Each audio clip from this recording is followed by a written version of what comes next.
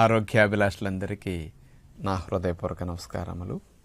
ఈ రోజుల్లో cell phone కానీ కంప్యూటర్ కానీ స్క్రీన్స్ వాడకం బాగా పెరిగిపోవటం వల్ల వయసు రాని పిల్లలకే ఈ రోజుల్లో కంటి చూపు బాగా ఎఫెక్ట్ అవుతున్నది. సంవత్సరాలు గడిచే కొద్దీ కంటికి స్ట్రెయిన్ పెరుగుతూ ఉంది అద్దాల పవర్ మార్చుకుంటూ వెళ్ళవలసి వస్తుంది.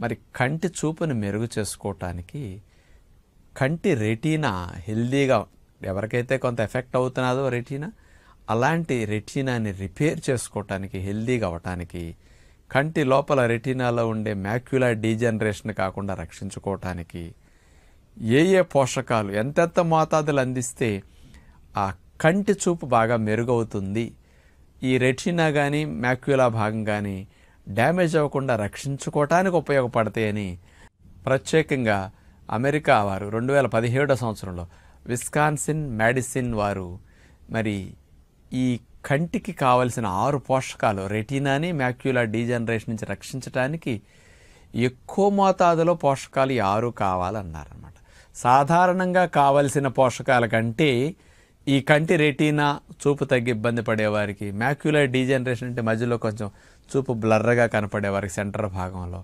ఇలాంటి వారికి దాన్ని రిపేర్ చేసుకోవటానికి డ్యామేజ్ అవ్వకుండా రక్షించుకోవడానికి కంటి దాకా మనం తీసుకున్న పోషకాలు ఎంత కావాలో అంతే తీసుకుంటే కంటి దాకా వెళ్ళలేదట అవి. కాబట్టి ఎక్కువ మొత్తంలో పోషకాలను కనుక ఇప్పుడు చెప్పబోయే ఆరు పోషకాలని మన అవసరానికి మించి ఎక్కువగా తీసుకున్నప్పుడు కంటికి అప్పుడు బాగా చేరుతున్నాయి అని వీళ్ళు స్పెషల్గా తెలుసుకోవటం జరిగిందనమాట. మరి ఆరు పోషకాలు ఎంతెంత కావాలి ఏవి కావాలి అనేది ఒకసారి చెప్పుకుందాం. మొట్టమొదటిగా ఒమేగా త్రీ ఫ్యాటీ యాసిడ్. మామూలుగా ఇదేదో గుండె ఆరోగ్యానికి గుడ్ కొలెస్ట్రాల్ తయారీకి ఒమేగా త్రీ అవసరం అనుకుంటాం. కానీ రెటీనాకి మ్యాక్యులర్ డీజనరేషన్ కాకుండా రక్షించటానికి omega three fatty acid one point six gram ఒకరోజు కావాలి. ఈ కంటి ఉద్దేశం లేకుండా ఉంటే బాడీకి మొత్తానికి ఒమేగా త్రీ ఎంత కావాలి అంటే వన్ పాయింట్ వన్ గ్రామే మనకు సరిపోతుందండి. కానీ ఇప్పుడు one point six gram omega fatty యాసిడ్ని అందిస్తే తప్ప కంటి దాకా రెటీనాకి లేకపోతే మ్యాక్యులా దాకా ఈ ఒమేగా వెళితే కానీ అక్కడ రిపేర్ అవ్వదని వీళ్ళు కనుగొన్నారనమాట అంత ఎక్కువ మోతాదులో తినాలి. ఒమేగా త్రీ ఈజీగా వచ్చేస్తుంది. నెంబర్ వన్ సోర్స్ మామూలుగా మనకి అవిసె గింజలు తక్కువ ఖర్చులో వస్తాయి. అవిసె గింజలతో పాటు చియా సీడ్స్ ఈ రెండు చీప్ అండ్ బెస్ట్ అనమాట వాల్నట్స్ కూడా ఒమేగా బాదం పప్పులు కూడా ఒమేగా.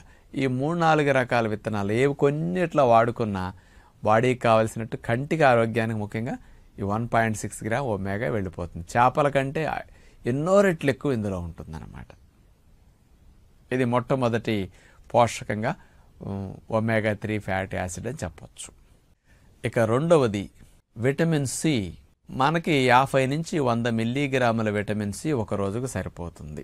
కానీ కంటి రెటీనా తేడా ఉన్న వారికి మ్యాక్యులా డ్యామేజ్ అయిందని కంటి డాక్టర్ చెప్పిన వారికి వాటిని రిపేర్ చేసుకుని ఫర్దర్గా డ్యామేజ్ అవ్వకుండా రక్షించుకోవడానికి విటమిన్ సి పర్ డే ఎంత కావాలి అన్నారంటే మూడు వందల నుంచి ఐదు వందల మిల్లీగ్రాముల విటమిన్ సి కావాలి. అంటే యాభై వంద తిన్నప్పుడు శరీర అవయవాలన్నిటికీ బాగా అందుతున్నది మ్యాక్యులా దాకా రెటీనా దాకా తక్కువ వెళుతున్నది చాలట్లేదట. అందుకని ఇక్కడ three hundred to five hundred MG vitamin C తీసుకున్నప్పుడు మాత్రం బాగా వెళుతుంది. మరి ఏం తింటే విటమిన్ సి ఎక్కువ వస్తుందనే విషయానికి వస్తే వంద గ్రాముల జామకాయలో రెండు వందల మిల్లీగ్రాముల విటమిన్ సి ఉంటుందన్నమాట. రెండు వందల ఇరవై దాకా ఉంటుంది. అంటే మనం ప్రొద్దున ఒక కాయ సాయంకాలం ఒక కాయ కనుక ఏదైనా ఫ్రూట్స్తో పాటు వాడుకోగలిగితే రోజు మొత్తానికి కావాల్సిన ఐదు వందల మిల్లీగ్రాములు ఈజీగా వెళ్ళిపోతుంది. రెండు కాయలు అట్లా తింటే చాలు. లేదా ఒక కాయ పెద్ద జామకాయ తినేసేసి ఉసిరికాయ ముక్కలు పెద్ద ఉసిరికాయ ముక్కలు అన్ని చప్పరిస్తున్నా వెళ్ళిపోతుంది అనమాట ఇది విటమిన్ సి రెటీనాకి మ్యాక్యులాకి బాగా ఉపయోగపడుతుంది. ఇక మూడవది విటమిన్ ఇ ఇది మామూలుగా మనకి రోజుకి పదిహేను మిల్లీగ్రాములు సరిపోతుందండి. ఈ విటమిన్ ఇ అనేది నూట యాభై మిల్లీగ్రాములు కావాలంట. కంటి ఆరోగ్యాన్ని సంరక్షించడానికి రెటీనాని లేకపోతే మ్యాక్యులర్ డీజనరేషన్ కాకుండా రక్షించడానికి ఎక్కువ మోతాదులో. ఈ విటమిన్ ఇ అనేది అన్నిట్లో ఉంటుంది. బాదం పప్పులో ఇరవై ఎనిమిది మిల్లీగ్రాములు పొద్దుతిరుగుడు పప్పులో ముప్పై ఐదు మిల్లీగ్రాముల దాకా ఉంటుందన్నమాట. కాబట్టి ఇలాంటివి కొంచెం బాగా వాడుకుంటే కంటికి చాలా మంచిది. ఇక నాలుగవది ల్యూటిన్ మరియు జియోగ్జాంతిన్ ఈ రెండూ కలిపి పన్నెండు మిల్లీగ్రాములు మన కంటికి కావాలన్నమాట. ఇది ఎందులో ఉంటుంది అని ఆలోచిస్తే వంద గ్రాముల పాలకూర తీసుకుంటే పదకొండు పాయింట్ మూడు మిల్లీగ్రాములు ల్యూటిన్ జియోగ్జాంతిన్ వస్తుందన్నమాట. పచ్చి బఠానీలు తీసుకుంటే నాలుగు మిల్లీగ్రాములు. బ్రొకోలీ తీసుకుంటే వన్ పాయింట్ వన్ మిల్లీగ్రామ్. ఇక పిస్తా తీసుకుంటే రెండు వేల తొమ్మిది వందల మూడు మిల్లీగ్రాములు ల్యూటిన్ మరియు జియోగ్జాంతిన్ అన్నిటికంటే ఎక్కువ ఇందులో ఉందన్నమాట. కాబట్టి ఇలాంటివి మనం ఏదైనా వాడుకున్నప్పుడు కంటికి కావాల్సిన ఈ రెండు బాగా వెళతాయి. ఇక ఐదవ పోషకం చూస్తే కంటికి కావాల్సిన జింక్. ఈ జింక్ అనేది మామూలుగా ఎయిట్ పాయింట్ ఎయిట్ మిల్లీగ్రామ్స్ మనకు ఒక రోజుకు సరిపోతుందండి. అలాంటిది ఇప్పుడు జింక్ అనేది కంటి కోసం స్పెషల్గా సమస్యలు ఉన్నవారు బాగా తినాల్సి ఎనభై మిల్లీగ్రాముల దాకా అందించాలట. ఈ జింక్ అనేది ఎక్కువ గుమ్మడి గింజల పప్పులో ఉంటుంది. అందుకని గుమ్మడి గింజల కారపొడి గుమ్మడి గింజలు నానబెట్టుకు తినటం గుమ్మడి గింజలు పేస్ట్ చేసి గ్రేవీ వంటలు వేసుకోవటం చాలా మంచిదన్నమాట కంటికి. అంటే అది ఎక్కువ మోతాదులో జింక్ కావాలి రిపేర్ చేయటానికి. ఇక ఆరో పోషకం విటమిన్ ఏ తొమ్మిది వందల మైక్రోగ్రామ్స్ కావాలి.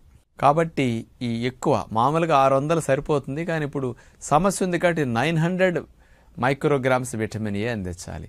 అందుకని రెగ్యులర్గా ఆకుకూరలు ఎక్కువ తింటాము. ముఖ్యంగా కొత్తిమీర బాగా వాడుకోవటం మునగాకు ఎక్కువ వాడుకోవటము కరివేపాకు వస్తా పొడి చేసుకుని వాడుకోవటము ఇలాంటి ఆకుకూరలు క్యారెట్ జ్యూస్ కానీ ఇట్లాంటివి వాడితే విటమిన్ ఏగా మన శరీరం బీటా కెరోటిన్ లోపలికి వెళ్ళి మార్చుకుని nine hundred micrograms vitamin A వచ్చేటట్టు అందించేస్తుంది అనమాట ఇప్పుడు ఈ ఆరు పోషకాలని శరీరానికి గనక బాగా అందించగలిగితే ఎక్కువ మోతాదులో అప్పుడు ఎక్కువ పోషకాలు మీకు అందటం వల్ల మీ కంటి రెటీనాకి లోపలుండే మ్యాక్యులాకి బాగా అంది అవి డ్యామేజ్ అవ్వకుండా రక్షించడానికి చూపుని కాస్త ఎక్కువ కాలం పాటు పదిలింగా కాపాడటానికి ఈ ఆరు పోషకాలు కంటి ఆరోగ్యానికి ఉపయోగపడతాయని విజ్ఞప్తి చేస్తూ నమస్కారం.